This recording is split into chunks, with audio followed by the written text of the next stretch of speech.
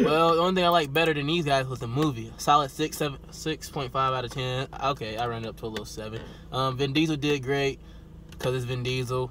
A lot of action. Don't if you if you think it's bad because the trailers, don't go buy the trailers. Just go see the movie.